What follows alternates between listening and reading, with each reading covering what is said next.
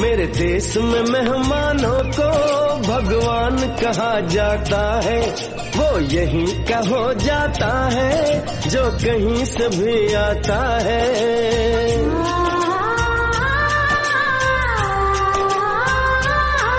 तेरे देश को मैं